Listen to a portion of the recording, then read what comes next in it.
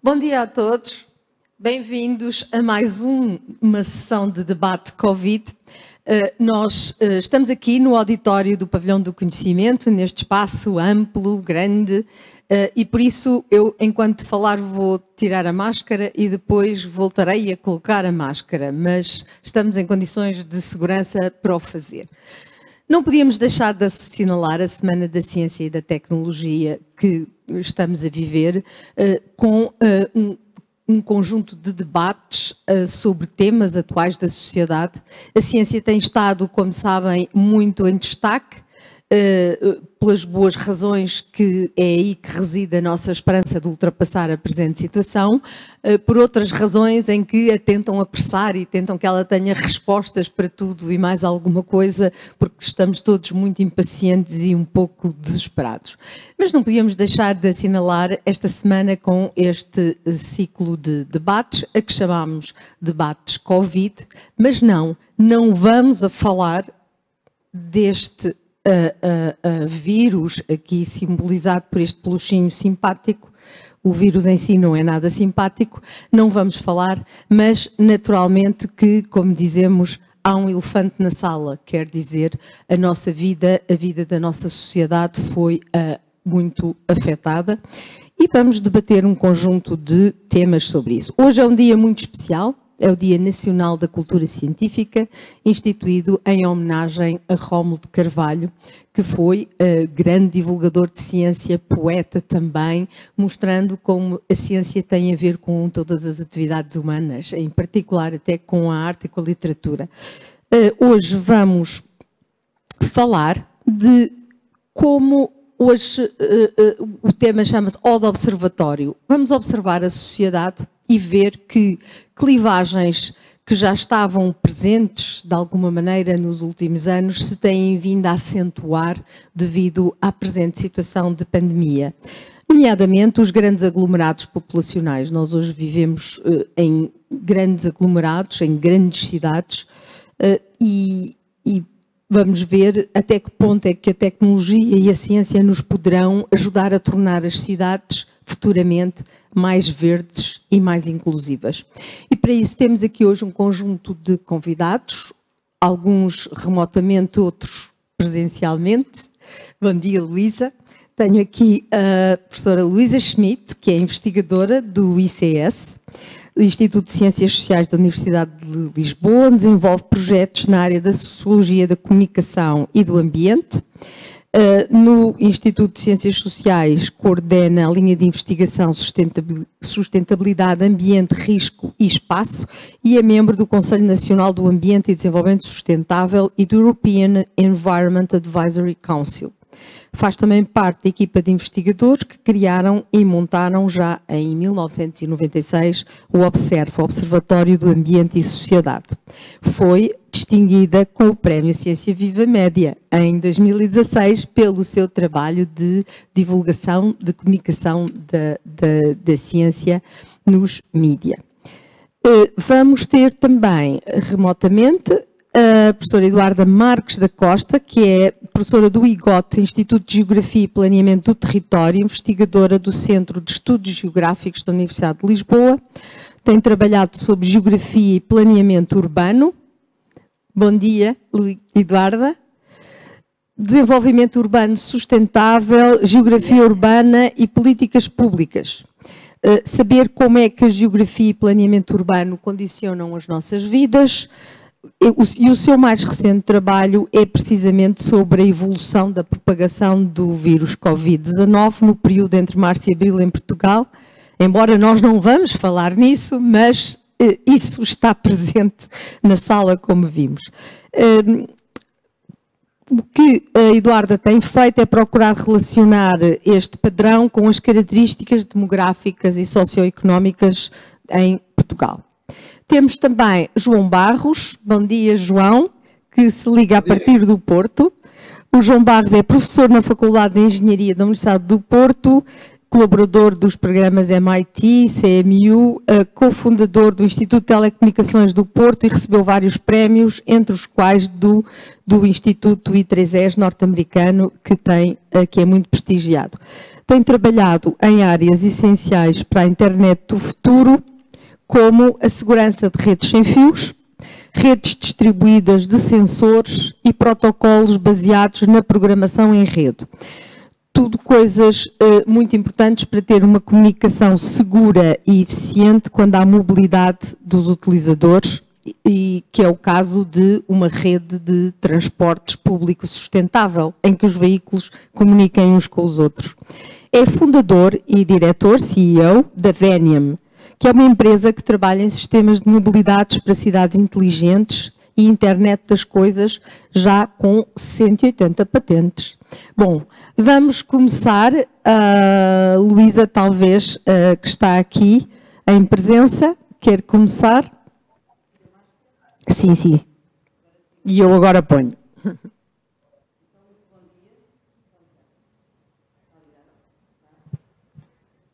Muito bom dia. Um, eu escolhi esta fotografia, já explico porquê. Um, em relação ao, ao, tema que vamos aqui debater, uh, queria dizer duas, duas ou três coisas para começar. Primeiro, a pandemia tem sido um grande revelador uh, das desigualdades sociais, não é? Ainda na semana passada, o Presidente da República nos lembrava que estávamos no mesmo barco, o barco da pandemia, mas em classes, em zonas do barco uh, diferentes. Uns em primeira, outros em segunda, outros em terceira e outros no porão. E, portanto, uh, uh, com um sofrimento muito mais elevado e em situação de grande vulnerabilidade. Um, as áreas metropolitanas são um dos lugares, uh, embora não o único, onde estas desigualdades mais se fazem sentir. e onde elas estão mais patentes, tanto em termos sociais como mesmo em, em, em, termos dos espaços verdes disponíveis, que é uma das matérias que vamos aqui falar. e ficou, aliás, bem à vista, nesta, com a pandemia, a importância dos espaços públicos verdes. Um, a crise financeira já tinha feito as pessoas valorizarem os espaços públicos verdes, uh, do usufruto gratuito, foi muito importante naquela altura, uh, e uh, a maneira como eles desempenham um papel compensatório crescente na vida cotidiana das pessoas. Mas a crise do Covid, portanto, o contexto pandémico, estes espaços ganharam muito mais relevância e tornaram-se muito mais necessários até à nossa própria sobrevivência, portanto, à nossa saúde um, e a crise socioeconómica ainda vai agravar mais isso e, portanto, eles tornam-se cada vez mais importantes também a, nossa saúde física e mental, não é? E, portanto, e, o recorrer a esses espaços verdes é uh, fundamental, cada vez mais. Ora bem, a tecnologia. Hoje, quando falamos de tecnologias, temos, uh, temos que ter o cuidado de pensar não só nos dispositivos técnico-científicos inovadores com elevado grau de, de integração, mas também uh, outro tipo de dispositivos tecnológicos uh, que se ligam mais à questão comunicacional, uh, com destaque para as redes sociais e os sistemas de informação. porque a tecnologia, como sempre aconteceu, tanto pode melhorar como agravar os problemas, tudo depende do uso que lhe dermos, dos usos sociais que lhe dermos. É por isso que a tecnologia da informação e da comunicação é igualmente decisiva quando nós estamos a pensar nas pessoas, nas diferentes populações. Um, sem dúvida que a mobilidade limpa, a geração uh, de energias renováveis, as smart grids, um, o teletrabalho, uh, têm vantagens e desvantagens, não é? A eficiência energética, as cadeias da economia circular, a expansão e a reutilização dos espaços uh, verdes são da maior utilidade, mas requerem também, e isso é que eu queria chamar a atenção, recolha de dados, quer dizer, uma espécie de monitorização em redes de conhecimento eficazes, requerem clareza eh, da informação, eficácia na comunicação e programas de mobilização cívica com destaque para a, eh, a, eh, a ciência cidadã e o seu vasto potencial, onde nós estaríamos aqui no pavilhão do conhecimento, e esse, e esse potencial de partilha e participação que, para uma cultura pública sustentável do ambiente urbano. Eh, para toda essa mobilização ser eficaz, requer-se também um conhecimento discriminado das diversidades sociais. Estamos perante populações com uma grande, muito diferentes, e isso tem que ser levado em conta, onde os, onde os dispositivos tecnológicos, incluindo os comunicacionais, irão agir. E, portanto, isso é um fator indispensável em processos de mudança, eh, como os que nós vamos, estamos a viver e vamos viver cada vez mais. Eh, e eu posso depois dar alguns exemplos, mas agora só tenho, acho que já cumpri o meu, meu tempo, ou tenho um bocadinho mais. Porque, por exemplo, eh, nós, nós estamos, ainda hoje estava a ouvir de manhã uma, uma conferência sobre o, o nosso o Pacto Ecológico Europeu e nós ehm, por exemplo, o, pacto, o, o, pacote energético que vem para questão, as questões da transição, é? a esse nível, da transição energética, com toda a sua inovação, a transição tecnológica que isso implica, um, se não for acompanhado também, ao mesmo tempo, por uma forma, por uma forte, aspas, tecnologia da comunicação um, para chegar às pessoas, pode ter ou resultados frustrantes, inúteis, ou pior ainda, perversos, ou seja, frustrantes porque acabou por não cumprir uh, aquilo, não, ter o efeito generalizador que, para, que foi, para, que, para que foi feito, não é? para que foi pensado, que se pretendia, e perverso porque, se não for bem comunicado, pode inclusivamente contribuir para o agravamento das desigualdades. Uh, portanto, um, é aqui é, é, as populações eh, quando as dinâmicas de mudança, que são urgentes e necessárias, precisam de uma espécie de tecnologia sociológica do mapeamento das diferenciações sociais e comunicacionais para chegar às pessoas, para chegar a essa grande diversidade eh, que nós temos a viver nas nossas cidades e, sublinho mais ainda, nas áreas metropolitanas. Daí a imagem, em vez de uma andorinha, imagem, temos uma pessoa das redes elétricas. Das redes das elétricas, linhas. justamente. Sim. A questão da, da, da, chegada da eletricidade Sim. e das, da, da, maneira como isto está Sim. diretamente articulado à capacidade das pessoas e à própria literacia energética que as claro. pessoas têm ou não têm, quando claro. nós sabemos no nosso país ela é muito baixa. Vamos passar talvez para a Eduarda. Eduarda. Olá, bom dia. Uh muito obrigada pelo convite e pela possibilidade de estar aqui e acho que a minha intervenção até vai bastante na linha da, da professora Lisa Schmidt. Efetivamente, um, e come, começava por dizer que nós temos aqui um acentuar dos problemas que já tínhamos. Portanto, a pandemia traz-nos, uh, uh, torna mais evidente e banal e, e transforma muito também esta ideia, a comunicação para todos, que nós temos um acentuar de um conjunto de problemas e, por outro lado, também mostra a nossa capacidade de adaptação. É um teste à nossa capacidade de adaptação como cidadãos, eh, mas também à economia, aos planeadores e a todos os intervenientes no meio económico e social. E, portanto, se pegarmos primeiro na primeira questão do acentuar dos problemas existentes, um, ehm, emerge, a Luísa falou das duas áreas metropolitanas como espaços onde nós temos uh, clara noção da questão das desigualdades e do acentuar das desigualdades, e onde emergiu, por exemplo, muitas questões como as questões da habitação e, e as questões da mobilidade, mas se olharmos para o restante país, temos as questões também ligadas aos empregos mais vulneráveis, porque nós encontramos também uma menor qualificação e empregos que são mais intensivos em trabalho, com valores remuneratórios mais baixos e que acabam por se traduzir também em diferentes níveis de acesso a serviços. E a quarta dimensão, se considerássemos habitação, uh, emprego, desemprego, não é? A questão da mobilidade e chamaria ainda a atenção para aquilo que veio, uh, que a pandemia nos veio trazer, é que nós temos menos acesso a serviços. Ilusoriamente, afinal, temos menos acesso a serviços. E não é preciso ir tão longe, mais longe do que olharmos para a forma como funcionaram os cuidados primários, não é? A dificuldade que temos em aceder aos cuidados primários, por todas as, as condicionantes, mas depois olhamos para a área social, uh, o funcionamento de apoio social, o funcionamento de apoio aos idosos, que uh, os centros de dia que tiveram que encerrar, uh, uma série de, de, de, estabelecimentos que acabaram por ter a sua atuação condicionada e que não estamos só a falar de mercado, estamos a falar também do, do, do mercado social, que acabaram por chegar menos, não é? Com, com mais dificuldade, ou menos mesmo, ou desaparecer em alguns casos, uh, uh, de acesso ao cidadão. E isto é transversal, não é uma coisa que se tenha concentrado apenas nas duas áreas metropolitanas, naturalmente, mas que se expandiu por todo o resto do país.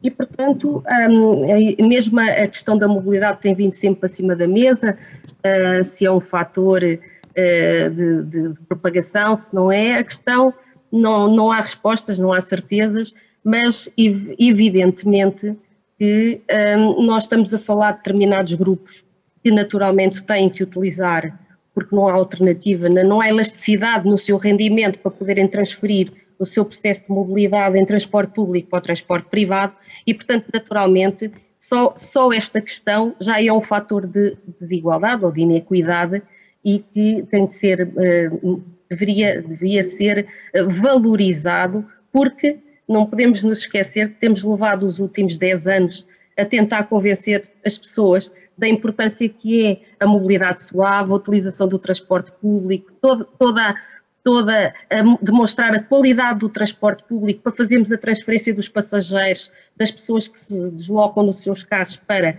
o transporte coletivo. E neste momento temos isto de alguma maneira destruído, não é? Porque toda a imagem e toda a construção positiva que tínhamos feito, inclusivamente eh, por várias gerações, a partir do momento em que temos um pacote de, de, de, de transporte que tem um custo mais reduzido para quem utiliza o transporte público, tudo isto se desmoronece completamente perante os medos, os receios e as novas necessidades das pessoas.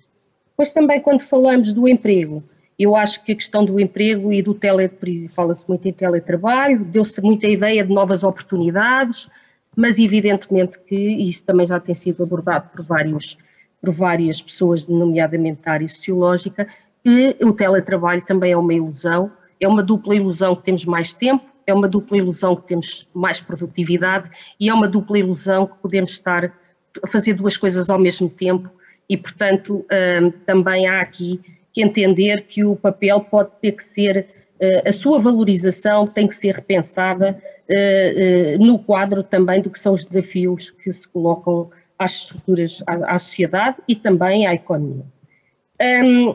Falou-se ainda que tínhamos tido melhoria da qualidade ambiental, e a pergunta que vamos fazer, podemos fazer aqui até quando, também. A Luísa chamou a atenção para a importância que tiveram os espaços eh, eh, verdes para a nossa vida ativa, para podermos, no fundo, encontrar um, um espaço onde, um, alternativo às nossa, ao nosso estar em casa, mas talvez eh, a evolução ao longo dos meses, teve aqui um, quando olhamos os dados da Google e olhamos para os dados por conselho, vimos que houve aqui um crescer até ao verão e depois com a retoma da vida, com os filhos na escola, com as nossas vidas, outra vez a, a nossa a, a vida ativa no trabalho e com todas as outras complicações que nos vão consumindo o nosso tempo, portanto temos menos tempo livre, apesar de pensarmos que temos mais, esta, esta um, utilização começou de alguma maneira a decair novamente e não tem só a ver com o sol, nem tem a ver porque estamos com com, com bom tempo e, portanto, teríamos aqui condições para, para, para esta prática. Eduarda, assim, já vamos sim. continuar, se calhar. Já vamos continuar, vamos passar ao João. Está sem som? Não, penso que estou. Ah. Estou, estou só ligado, estão okay, okay. bem? Uh, vamos, vamos continuar então uh, consigo. Será que as cidades inteligentes do futuro serão, poderão ser mais resilientes e será que uh, estas comunicações seguras de internet, tudo isso e a sua aplicação aos transportes públicos, por exemplo, nos poderão ajudar? Uh, absolutamente que sim, uh, e, e, vou já dar exemplos, e como é um debate, vou aproveitar também para contrariar algumas das posições mais pessimistas. Já lá vamos, já lá vamos da professora Eduarda uh, e, e, da professora, professora Luísa. Uh, antes de mais, muito, muitíssimo obrigado ao programa Ciência Viva, é sempre um gosto colaborar convosco, até porque Ciência Viva, não há dúvida que tem um papel extraordinário na, na elevação dos portugueses e da cultura científica do país, e portanto é com muito gosto que estou aqui. E uh, aproveito para dizer, não, não é suposto falarmos sobre a pandemia, mas é impossível uh, não, não, não, não ver como, como a, a Covid está a afetar-nos a, a, a todos. E estamos a ver que os países que têm uma cultura científica mais evoluída tendem a ser mais resilientes e a ter melhor resposta para uh, as, as, questões que um, surgem uh, em situações uh, difíceis e, e de crise como esta. E temos já uma série delas a seguir que têm a ver com as alterações climáticas e com a resposta que a nossa sociedade também vai ter que dar. e a tecnologia ajuda, mas não resolve sem haver uma evolução da sociedade no sentido de utilizar essas tecnologias de uma forma uh, um, correta, eficaz e, e, e, mais uma vez que, que uh, as pessoas e lhes permita viver melhor. e nessa medida, de facto, nós hoje temos uma série de respostas que podemos dar com base em tecnologias de informação e comunicação, porque vamos, podemos hoje ter acesso a, a dados, quer em tempo real, quer depois numa análise posterior, que nos permitem, de facto, perceber melhor como é que a cidade está a funcionar uh, e, uh, em particular, também como é que os sistemas de mobilidade estão a servir os cidadãos e de que forma é que podemos orientar a utilização desses sistemas de mobilidade de, uma, de uma forma que seja mais defensável do ponto de vista ambiental um, e, ao mesmo tempo, ainda assim, permita a atividade económica necessária para uh, que as pessoas possam uh, ter uh, a qualidade de vida que precisam. e nesse aspecto, de facto, nós hoje mais de 50% da população humana vive em cidade e até 2050 serão cerca de 70%. Um, e isso é positivo no sentido em que uma concentração maior de pessoas permite utilizar os recursos também de uma forma mais eficiente. As tecnologias de informação e comunicação uh, este ano uh, levaram ainda a uma aceleração muito, muito maior um, e a maior parte das empresas, e eu aqui estou uh, também no papel da empresária, porque apesar de ser professor universitário, estou em licença de longa duração já há bastantes anos desde que criámos a a Venom e, portanto, eh, para além do, do, do, conhecimento científico, da aplicação na tecnologia, há ainda a, a, a, dúvida de como é que nós escalamos essas tecnologias e para isso precisamos de modelos de negócio uh, que permitam que, de uma forma económica, uh, empresas possam levar essas tecnologias aos cidadãos e às instituições. E para dar um exemplo muito concreto, Uh, o, que, o que a Venom fez uh, foi basicamente uh, colocar o seu software em dispositivos de autocarros, caminhões de lixo, carrinhas, que permitem que esses veículos formem eles próprios uma rede de comunicações, ou seja, os veículos trocam informação uns com os outros e também com a internet e com aquilo que se chama nuvem, não é a cloud, onde podemos processar esses dados. O que é que isso significa para os cidadãos? Ah, desde logo têm ah, acesso à internet nos autocarros, ah, grátis, o que permite também aumentar o acesso à informação e à, à, população em geral, mas além disso, os autocarros agora passam a ser também sensores móveis, ou seja, captam dados que nos permitem inferir acerca dos padrões de mobilidade, mas também da qualidade da infraestrutura, do microclima da cidade e tudo mais. Uh, há um aspecto muito importante para nós, uh, é que uh, nós queremos de facto também mais espaços verdes e para nós o caminho mais rápido para termos mais espaços verdes é termos muito, muito, muito menos carros. E para termos muito, muito menos carros, eles têm que ser partilhados, eles têm que ser autónomos, eles têm que estar em rede para poderem servir vários cidadãos. a professora Eduarda levantou e bem a questão do medo que as pessoas têm nos transportes públicos. Felizmente, os dados de pandemias anteriores, como a SARS e a MERS, quer de Hong Kong, quer de Taiwan, mostram que uh, um, um, a dois anos depois da, da pandemia, uh, aliás, em alguns casos até poucos meses depois de, de, da pandemia estar controlada, os níveis de utilização dos transportes públicos voltaram exatamente ao nível a que estavam uh, antes de, da pandemia. E, portanto, esta descrença e uma certa, o medo que as pessoas têm neste momento é uma confiança que se pode voltar a ganhar uh, relativamente rápido, desde que, obviamente, a pandemia e a situação uh, da, da, propagação da doença esteja controlada. Portanto, nessa medida, um, acreditamos que os transportes do futuro vão ser partilhados uh, e crescentemente uh, autónomos, ou pelo menos com parte da sua condução autónoma uh, e em rede, e isso vai nos permitir libertar a via pública de espaços e espaços que neste momento estão cheios de carros que estão parados 95% do tempo uh, e uh, transformá-los em, em, espaços verdes, melhorando a nossa, a nossa uh, qualidade de vida. Um, e, portanto, este é um exemplo muito concreto está ao nosso alcance depois de ultrapassar esta emergência que, que, temos neste momento com, com, a Covid, mas ao mesmo tempo vai nos permitir, de facto, repensar e ganhar algum tempo agora durante a pandemia para repensar que tipo de políticas públicas é que vão ser necessárias também no, no, com os investimentos eh, públicos que vai, que vai haver para estimular a economia, que assentos é que podemos colocar e que estímulos é que podemos colocar à indústria e às empresas para apostarem na eletrificação dos transportes, em transportes mais coletivos e menos individuais, e por aí adiante há um papel também aí para o Estado uh, apresentar nos próximos, nos próximos tempos. Muito obrigada. E temos já aí então uma primeira pergunta para as nossas oradores. Que políticas públicas? Uh, Eduarda, Luísa, não sei quem é que quer falar primeiro. Eu posso falar que estou aqui ao pé de ti. Já sem máscara, já tirei a máscara. Então, um, que políticas públicas? Eu só, eu só queria dizer ao, ao, ao colega que eu não sou pessimista. Uh, quer dizer, uh, e sou uma grande apologista da tecnologia e então dos transportes públicos. Há anos que os defendo, não é? Intensamente.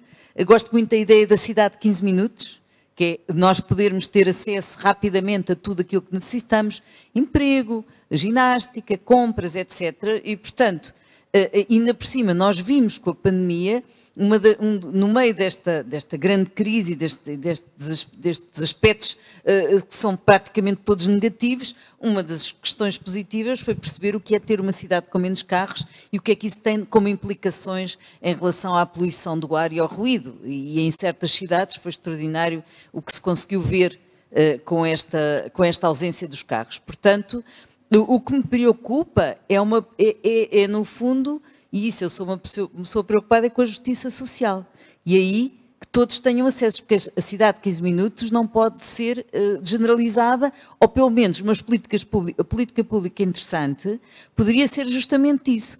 Como é que nós conseguimos, com as cidades que construímos, e eu não acho que só por si o facto das, viver, das pessoas viverem em, cidades seja uma coisa. Eh, portanto, este, este, excesso de urbanização do mundo não é uma coisa necessariamente boa em si, e, portanto, a maneira como, por exemplo, nós construímos as nossas áreas metropolitanas é extremamente negativa, porque foi como se diz, em mancha de óleo, sem planeamento, e nós temos hoje situações, mesmo na área metropolitana de Lisboa, que é o que eu conheço melhor, onde nem sequer chegam transportes eficientes. E, portanto, e isso temos que contar com isso, não é? Como é que nós vamos lidar? Políticas públicas são fundamentais para a questão da mobilidade, como é que nós vamos chegar a, estas, a estes lugares onde as pessoas têm, de facto, uma vida muito mais complicada, porque não têm nem mobilidade social nem outra, e portanto como é que nós vamos fazer isto? Depois do ponto de vista também, e pensando, e pensando que volto a falar do pacote ecológico, o pacote, hum, sim, o pacote ecológico europeu, estou um pouco influenciada por ele, porque estive ontem numa conferência sobre ele e, outro, e hoje de manhã hum, outra vez, e portanto vem dinheiro para a mobilidade, vem dinheiro para a transição energética, eis outro problema muito importante, como é que nós vamos chegar fazer chegar às pessoas toda estas. Que política pública vamos lançar para que a eficiência energética e, e, a maneira como as pessoas vão utilizar os fundos para a melhoria das suas casas e para, enfim, sofrerem menos com o calor e com o frio. Como nós sabemos, Portugal é um dos países onde a pobreza energética à escala europeia é, é maior, portanto, somos o terceiro país que sofre de pobreza, maior pobreza energética, mas não só pobreza energética, também até para a classe média, que políticas de comunicação e de informação e de interação com as pessoas nós vamos utilizar para conseguirmos que esses pacotes cheguem efetivamente a quem precisa e, portanto, façam a diferença e, como eles dizem, não deixem ninguém para trás. Isso é, é outro pacote importante em termos de políticas públicas e depois também tudo aquilo que se prende com os espaços verdes do fruto público. Isso é, é uma matéria a Eduarda estava a dizer que as pessoas utilizam menos, mas continuam a utilizar muito. E, e, sobretudo, essa possibilidade de os terem, de poderem usufruir desses lugares, é absolutamente fundamental na cidade do futuro. E quando eu estou a falar dos espaços públicos urbanos, a verde, estou a falar também da questão das hortas urbanas, uh, desapareceu, foi-se embora o nosso grande arquiteto Ribeiro Teles, não é? Que tanto era, um, que tanto lutou por estes assuntos, e por estes corredores que são fundamentais para as pessoas e como nós sabemos também, nas áreas metropolitanas nós temos aqui um problema também com os espaços verdes, espaços públicos verdes. Nós temos bairros onde isso não existe e, portanto, é preciso criar, é preciso lançar políticas públicas para melhorar a vida das pessoas aos vários níveis, nas cidades e nas áreas metropolitanas, insisto nisto, porque apesar de tudo é onde as pessoas vivem mais, não é? É a quantidade de pessoas é enorme e onde realmente eh, a pressão sobre a pressão cotidiana eh, sobre os transportes, sobre a mobilidade, sobre isso faz sentido de uma forma muito muito, muito agravada. Portanto, eu fico-me por aqui com esta primeira claro. com este primeiro comentário. Eduarda, reações? Nós não combinámos as duas, prometo, mas estamos alinhadas, Luísa. Uh, e eu corrijo o que disse aqui melhor porque quando disse que tinham utilizado menos espaços verdes, é verdade, em relação com o tempo que utilizavam num período anterior, porque há aqui uma alteração da vida das pessoas que é temporária, que é naquele momento de outubro, novembro de reorg... e de, agora de novembro de reorganização. Mas voltando à resposta, eu atrás de mim, eu vou-me virar para um lado e vou-me virar para o outro. Não é? Mas aqui, como exatamente o que é o nosso desafio, não é? Na política pública, na criatividade. Este é um exemplo de uma, está na freguesia de Benfica, é uma foto tirada de fresquinha, é de sábado, sábado antes da uma da tarde e sábado depois às nove e meia, dez da noite. E a realidade da direita é aquela que hoje nos obriga a fecharmos mais e a realidade da esquerda é aquela que ainda nos permitiu uh, ter aqui alguma, alguma saída, mas o que eu queria sublinhar é que no meio de tudo isto há novas oportunidades e, portanto, o que aqui está neste no, no fundo, tem devolução do espaço público ao cidadão, como dizia o João, tiramos os carros e, portanto, ficou mais espaço, ficou mais espaço para a caminhabilidade. Pintámos de verde, o que também ajuda a criar uma imagem ao cidadão de um lugar mais, uh, aquela, aquele efeito psicológico da tranquilidade. Arranjámos uns vasos, umas grandes, uns grandes vasos e colocámos o verde junto da, dos, da, dos passeios. Transformámos contentores do lixo em bancos, uh, de jardim, onde antes de eu tirar a foto tinha estado também uma família com duas crianças pequenas e, portanto, eh, criámos aqui uma oportunidade. E depois criámos uma oportunidade aos comerciantes, que é, afinal, não precisamos estar fechados, porque as pessoas têm essa sensação de risco e é uma sensação que depois se traduz também, como sabemos, no modelo de propagação também factual. E, portanto, criámos uma oportunidade de aproveitar um espaço exterior exatamente para manter a atividade comercial, neste caso em particular da restauração mais viva. Portanto, aqui estamos combinando aquilo que é a cidade uh, uh, verde, o verde, com a cidade inclusiva.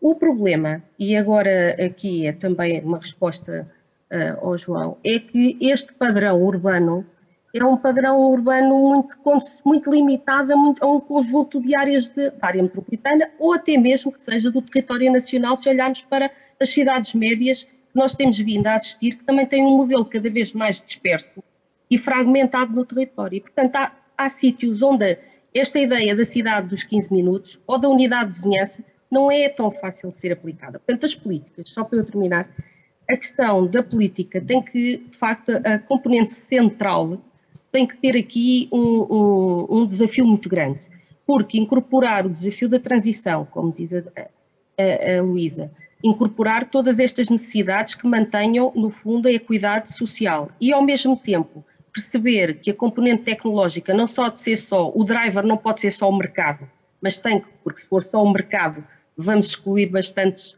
deste, deste, deste, deste, deste target de clientes se não for só, temos que introduzir esta questão da comunica das comunicações na governança também na política pública e ficava por aí. Vamos, temos aqui uma primeira pergunta do público. Uh, o, estão aqui a perguntar o, se o que está a mostrar foi criado por quem? Quer dizer, esse arranjo aí em Benfica uh, foi criado pela autarquia ou foi autonomamente pelos cidadãos? Não, junta de freguesia. Junta de freguesia. Também posso arranjar uma fotografia de um jardinzinho, não para este, mas um dia envio, que foi, foram os cidadãos que fizeram também. Numa rua. Transformaram uma rua e também fizeram. Portanto, há, duas, há dois modelos aqui. De qualquer dos modos, o que estávamos a, O que estávamos a dizer é que isso é a cidade só da parte de dentro, digamos assim, o miolo da cidade. Existe depois todas as áreas metropolitanas com as áreas metropolitanas com dificuldades de acesso ao centro ou sem polos atrativos desses para as pessoas, porque existem zonas de, da cidade que são um pouco como dormitórios. Aí o que é que se poderia é a estrutura da cidade que está completamente mal. Uh, ajudaria, será, são os transportes, tem que existir transportes uh, públicos de, de, massa, estilo comboio, que possam trazer eficientemente essas pessoas para os seus locais de trabalho. Uh, que tipo de soluções é que se imaginam? Eu penso que essa é uma área em que, em que nós vamos ver uh, mudanças permanentes uh, consequentes da, da, da, da pandemia. Um, antes, de, antes de ir aí, só, só, só uh, um, uma nota relativamente à questão da densidade populacional e, e, e se é desejável ou não que as pessoas se concentrem nas cidades. Um, como é um debate científico, aí os números não enganam. as cidades que são mais eficientes do ponto de vista de utilização de energia por habitante no mundo, neste momento, são aquelas que têm a maior densidade populacional. Uh, e é fácil de entender que uh, uma cidade de 15 minutos só é possível se de facto também a densidade populacional uh, diminuir e não estiver espalhada por grandes uh, áreas, áreas metropolitanas. Não é? Isto porque para, para as empresas e o emprego funcionar, um, em muitos setores ainda é precisa a, proximidade entre os trabalhadores. Mas aí nós também estamos a ver que há grandes setores da, da, da economia uh, em que o teletrabalho é perfeitamente execuível e ao contrário do que, do que um, a Eduarda uh, estava a defender há pouco, um, o, o, os inquéritos a, a, a, empresas estão a revelar que em vários setores a, produtividade manteve-se e até em alguns casos subiu com o teletrabalho. Uh, isto porque as pessoas passaram a, a, deixar de ter que passar uma, às vezes duas horas em transportes públicos para ir para o trabalho, conseguiram organizar-se com a família mais facilmente em certas questões. Uh, e, por outro lado, estão mais concentrados, portanto, não estão num open space barulhento uh, e isto posso dizer também do ponto de vista da, da, da nossa própria empresa, no último inquérito que fizemos, 80% uh, dos uh, meus colegas uh, não querem ir trabalhar ao escritório mais do que dois dias por semana. e isto permanentemente, mesmo depois do Covid ou da Covid deixar de ser um risco para, para a saúde. E, portanto, isso vai ter impacto nos nossos transportes, Uh, ao mesmo tempo, via as viagens de negócio de avião uh, vão cair brutalmente, nós uh, vemos isso também nos inquéritos e nos estudos, que uh, eu, eu, hoje de manhã estive numa conferência na Alemanha, agora estou numa conferência em Lisboa, tenho calls com clientes americanos hoje à tarde e ainda não saí do meu escritório no, no, no Porto uh, e, e, portanto, a minha própria produtividade e eficiência e vou poder uh, jantar com a minha família em casa ao, ao final do dia uh, tendo estado em vários países durante o dia, ou em vários sítios durante o dia. Uh, e, portanto, eu, essa é uma realidade que nós sabíamos que ia acontecer. Uh, a pandemia acelerou essa realidade há vários anos, ou seja, em, em, poucos meses temos uma aceleração de 5 a 10 anos, e não sou eu que digo, é o CEO da Microsoft e de outras empresas que fornecem este, este tipo de, de serviços. Eu penso que isso também tem a ver com o tipo de atividade. É? Eu lembro-me da Eduarda me mostrar uns, uns, gráficos que mostravam a percentagem, a intensidade do teletrabalho num período recente em Portugal e havia zonas onde não havia quase teletrabalho. Isso deve ter a ver também com o tipo de atividade, não é? Sim, sim, e aí é onde eu vejo o maior foco de desigualdade social neste momento, é entre aqueles que podem trabalhar a partir de casa e aqueles que não podem. E esse é, esse é um problema muito grave que vamos ter que endereçar eh, mesmo depois da pandemia passar. Pois, porque eh, realmente a questão da. Agora estou com a máscara pendurada. Eh, agora, só duas notas em relação ao que disse o colega. Na maior parte dos países, as cidades, portanto, nos países do Sul, as cidades, as pessoas vivem nas cidades em, em, situação absolutamente dramática. Portanto, quando nós pensamos, eu percebo essa ideia nas, nas cidades como como Lisboa, Tucur, não é? Agora, uh, ou como as cidades do Norte. Agora, nas cidades do Sul, a maneira como as pessoas se acumulam na cidade leva-as a viver de forma subhumana e isso leva-nos para outra conversa que tem a ver com o land grab e com o facto das pessoas terem que sair do campo por diversas razões, por causa das alterações climáticas, mas também por outras razões, por outros motivos. Uh, muitas vezes pela, pela, pela perda objetiva das suas terras. O land grab é uma coisa que subiu imenso desde 2008, desde a crise financeira. Portanto, a utiliza, a, no fundo, a ocupação das terras por, uh, que foram vendidas a países, grandes multinacionais, etc. Mas isso leva-nos para outra conversa. A questão que eu acho que é aqui interessante sublinhar, por um lado, o teletrabalho é de facto fantástico. Nós aprendemos mais, e isso eu sinto até por mim, nós aprendemos mais uh, sobre uh, uh, tudo o que se, diga, o que se, o que se liga a, ao mundo da, da, tecnologia, da net e de, das redes sociais nos últimos seis meses do que anos. E isso é, é, é extraordinário. É evidente que depois isso também se põe uh, o problema relativamente a, a, a outro tipo, a, à desigualdade social. As pessoas têm que ir trabalhar porque trabalham em fábricas, porque trabalham em limpeza, etc. Portanto, aqui há uma grande diferença também a esse nível, o que não tira a importância do, também do, do teletrabalho para determinadas profissões. Uh, agora, eu só queria uh, falar de duas coisas que me parecem particularmente interessantes. Nós vimos que, com a pandemia, houve coisas que se tornaram muito importantes. Por um lado, a saúde, não é? Que de repente já era importante, mas ainda ficou mais. Por outro lado, a segurança as pessoas querem mais segurança e a ideia da segurança, um, uma, uma, uma, cultura que se construiu de uma base securitária, que é nossa, no Ocidente, acabou por ter aqui um desafio, um challenge muito, muito interessante, levou aqui um grande abanão. E por outro lado, a questão da tecnologia e da ciência, que se tornaram uh, muito mais relevantes ainda do que já eram. Nós assistimos à ciência em direto, quer dizer, a importância que a ciência e a tecnologia hoje têm nas nossas vidas redobrou redobrou. E isso leva-nos aqui a, a, equacionar tudo isto de outra maneira.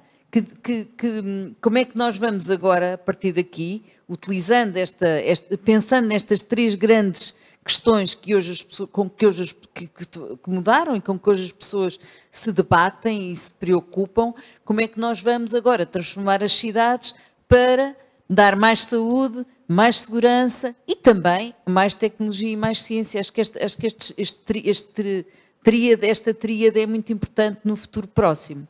Por outro lado, só para terminar, que, o que Eduardo mostrou, a questão da escala local, é importantíssimo. De facto, e isso leva-nos a uma nova, novas formas de governança, as pessoas intervirem mais na decisão dos seus passos, como ela disse, eles construíram um jardim e isto já está a acontecer em vários sítios do país. E esta proximidade de, de, de, do poder local e da, da, forma como, hum, de certo modo, há maior abertura entre juntas de freguesia e as próprias autarquias à participação dos cidadãos, isto também é um avanço muito importante para isto tudo que estamos, isto estamos aqui a falar.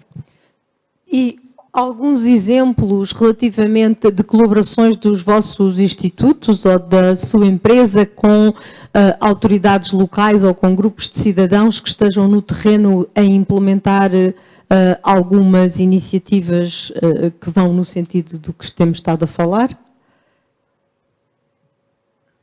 Diretamente com os cidadãos, não. Eh, nós trabalhamos muito com a cidade do Porto e, e também com os transportes públicos aqui, com a STCP, eh, no sentido de tornar a cidade eh, um laboratório vivo para este tipo de, de soluções e, e, aliás, tem, tem corrido, corrido o mundo, felizmente, como, como um exemplo de como os veículos podem ser mais do que simplesmente máquinas que transportam pessoas de um lado para o outro, mas serem parte desse, desse tecido urbano tecnológico que nos permite trocar dados e, e, e, viver, e viver melhor. Acho que ainda estamos só no início, há muito, muito ainda por, eh, por explorar, seguramente, eh, e eh, vemos uma adesão grande das pessoas, particularmente relativamente ao acesso à internet. E eu acho que esse é um aspecto também muito importante de políticas públicas, Uh, é, é, que hoje em dia, de facto, uh, o acesso à internet é, o, o, o, está, está, ao nível de um direito fundamental dos, dos, cidadãos, porque é a única forma de terem uma cidadania plena uh, e um, um, igual acesso às, às, às oportunidades, quer do ponto de vista de educação, quer do ponto de vista profissional. Um, e nessa medida, uh, tá, uh, uh, a professora Luísa falou do, do, exemplo de pessoas que têm que ir para a fábrica trabalhar, com certeza que sim. O que nós vamos ver, no entanto, é que todos esses uh, empregos tendem a, a, desaparecer, cada vez há mais automação, se for aqui à fábrica da Unicer, aqui à beira, vai ver que só deu uma, um espaço enorme em que só tem uh, um, basicamente sistemas automáticos e robôs a encher as garrafas e, e, e a, a processá-las uh, e só uma ou duas pessoas uh, a fazer a vigilância. E, portanto, as fábricas tendem cada vez a ser uh, mais dessa natureza e, portanto, o emprego também está a evoluir cada vez mais para empregos baseados no conhecimento, onde os dados e a conectividade são absolutamente críticos e todas as pessoas têm que ter igualdade de oportunidade de acesso a eles. Portanto, menos pessoas mais conectividade e mais qualificação, menos pessoas. Luísa, que querias dizer alguma coisa? Não, quer dizer, é, é evidente, não é? Mas a capital do móvel estava com. e na Fiel e todos esses lugares, esses uh, sítios do país onde ainda funcionam muitas indústrias, eram, foram aqueles que também foram mais afetados recentemente não é, pelo Covid-19. É evidente que isso vai-nos colocar aqui outro desafio muito importante. A inteligência artificial e a robotização vai reduzir muitos dos empregos. Portanto, e vai, vai dispensar muita, muita mão de obra, muita gente, que, que, sobretudo os empregos mais desqualificados, não é? Ora, isso implica também um repensar de, das pessoas e da sua vida, do seu cotidiano, eh, todas estas pessoas que vão, vão, passar por isso e, portanto, que modelos. É, mas isso levava-nos também para outra conversa. Sim, isso já era outra, outra conversa. Uh, Eduarda, eu recordo-me também de ver nos seus mapas uh, zonas de maior contaminação e uh, será que correspondem a zonas com menos teletrabalho ou estamos perante uma situação em que a importância da, da, da, formação das pessoas também conta? Bom, quando, quando nós fizemos uh, aquele mapa de risco, entretanto fomos acompanhando os valores diários e cruzámos isto com uma bateria de 60 indicadores. Os, uh, a questão de, de, de, alguns setores que nós chamamos setores de risco, que são os mais intensivos em trabalho, aparecem com uma relação fortíssima. Portanto, no caso, o João falou no caso das bebidas, as bebidas tradicionalmente é um setor que é muito automatizado e, portanto, tem sempre pouca mão de obra, mas se formos falar, por exemplo, na indústria da alimentação, da bate, da bate ou mesmo na indústria têxtil, ou das confecções, ou dos sapatos, essa questão já é diferente e, portanto, esta proximidade das pessoas no local de trabalho, associada a estes, estes empregos de menor qualificação, é, tem sido efetivamente um, um fator importante de propagação. E depois ainda há outra questão que é nestas áreas nós estamos a falar de pessoas que atravessam frequentemente o seu conselho, onde residem, para um conselho onde trabalham e, portanto, onde a mobilidade é enorme para, para, para ir trabalhar numa fábrica e que não é necessariamente no espaço dos 15 ou dos 20 minutos. E, portanto, todo este, este modelo organizacional que é diferente, no fundo, uma, uma um alargamento muito grande de vacias de emprego, um modelo organizacional que é diferente e que, entretanto, faz com que também a matriz cultural das pessoas faz com que elas depois tenham outra forma de relacionamento uh, nos seus domicílios, uh, estão mais próximos das famílias, de ver os, os, os, idosos com maior frequência do que as pessoas que estão nas áreas metropolitanas e, portanto, há aqui um efeito de rastilho, não é? Tem muito a ver com as, as atividades, o padrão de ocupação do território, que é muito diferente do modelo compacto, como estava a dizer o João bem, e uma, uma parte do nosso território nacional tem um modelo disperso, e portanto ele é muito ineficiente, e, é um, e vai ser muito custoso transformá-lo num modelo eficiente, vai ter custos muito altos de infraestruturação e de mudança, e portanto é, é, há essa relação, a qualificação é claramente um fator que ajuda a explicar esta, esta, estas diferenças uh, no modelo de propagação, claramente. Relativamente às políticas, se me permite ainda, eu acho que há uma agenda de financiamento que não é necessariamente a agenda de, das prioridades. E, portanto, vai caber a quem vai decidir, e também a nós que vamos planear, naturalmente, compreender como é que vamos conciliar esta agenda onde temos financiamento e, portanto, uma agenda de oportunidades, com uma agenda de necessidades, que não é necessariamente a mesma. E esse vai ser realmente o desafio que nós temos pela frente nos próximos anos. Desafio, não sei se querem comentar, uh, as oportunidades, ajustar as oportunidades às reais necessidades implica ter primeiro uma boa radiografia de quais são as, as atuais necessidades. Sim. Eu, eu, acho que há. Desculpe. Uh, Sim, João.